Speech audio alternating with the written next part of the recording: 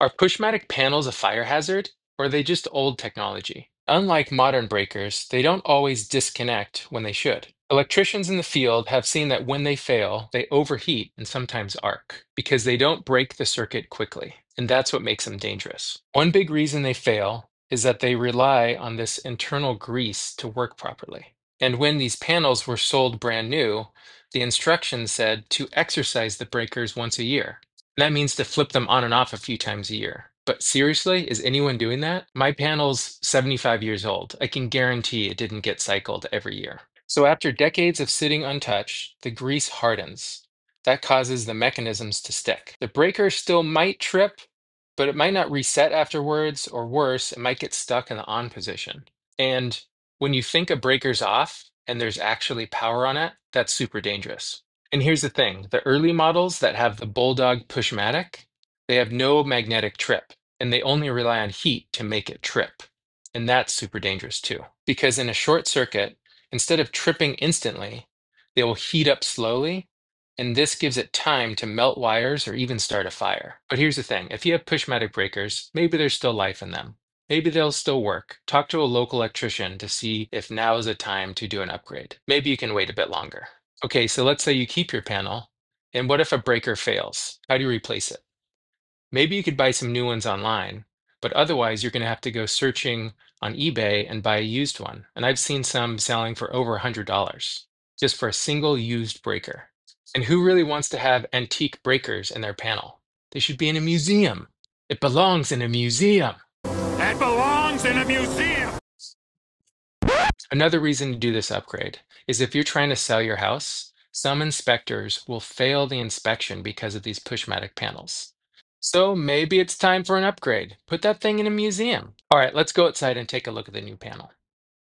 All right, we just bought a new house. Uh, it was built in 1950. There are a bunch of upgrades to do. The new Pushmatic panel was kind of the first thing we did because we had to replace that to do all these other things. Uh, we want to add solar, battery backup, uh, generator connection, uh, new electric appliances. There's tons of stuff that we want to do. Uh, I'm going to do a series of videos um, about those upgrades uh, over the next few months, uh, or honestly, like years, because this stuff takes a while and we have to save up money. So eventually, we want to electrify everything. Uh, switching from gas to electric for the stove, uh, the heat pump, hot water heater, and eventually maybe a heat pump furnace. So hopefully this gives you some ideas of how and why to make upgrades onto your house. So first up, today we're going to be replacing the Pushmatic panel. We're also going to be adding a new service panel out by the meter on the outside. And all of this is to get ready to have a fully electric home and be ready for solar and batteries as well. So even if you're not going fully electric at your house, replacing a Pushmatic panel is still a good idea for safety and reliability, for resale value, and just peace of mind. All right, let's go check out the panel and learn some more. So right here, we have an overhead line coming in from the utility pole, coming into here, coming down into the panel. This is the utility meter. And then from here, we go into the main panel. We have the grid connection here and the generator connection here. And what's great about this, I can shut off the power to the whole house here. But what I can also do is I have a generator connection here. When I plug in down here, this port actually has a male connection here, and then I get a plug that has a female connection at the end of a cable that um, that plugs in here, and the other end of the cord goes to the generator. So then what I can do is once that's connected and the generator is running, if the grid was out and there's no power anyways, I would turn this off and then move this thing up and turn this circuit breaker on. And this metal bracket basically means I can't backfeed the grid when the generator's on, which is just a smart thing to do. Um, the other thing I have here is a whole house surge protector. You can see the green light there. Uh, so that means everything's working good. What happened in my old house is I didn't have this, and a huge transformer exploded or something nearby, and the power went out for a few days, and it fried a bunch of stuff at our house. So dimmer switches, LED lights, uh, a bunch of things like that just stopped working, and I didn't really know why. And I realized that it happened right after that power outage. So I'm pretty sure I got a surge. Um, so happy to have this out here, you know, way up upstream, close to the uh, power coming in. And then I have an extra breaker here for when I eventually do solar or a solar battery system. I have a additional one here just in case I want to put a power meter up here, either here or down at the panel downstairs. Here's the new electrical panel.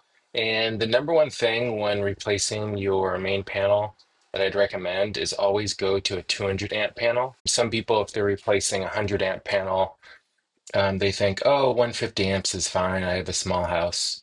But the cost between a 150 amp and a 200 amp uh, is very small. And this panel is going to last you a few decades. And even if you don't think you're going to electrify everything now, we might be electrifying most appliances in our house in the future and adding EVs. Who knows? You might have two EVs in the future. So it's smart to just go to a 200 amp panel. Also, with a 200 amp panel, you'll have extra breaker spaces so you won't run out. Before this, we had the Pushmatic. Uh, now we have kind of the standard breakers. Um, got everything in there, got plenty of room for new appliances so I can electrify the house. The old meter connection was right there.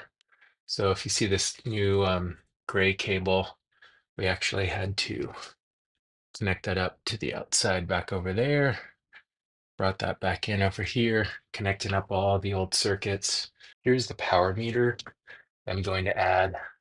Um, I need to put on some of the circuit breakers there, and then some of these uh, CTs or the current transducers, basically just a clamp meter that can measure the current. Put these around the the main wires coming in. This measures the current, and then I'll have two of these for each line coming in for split phase.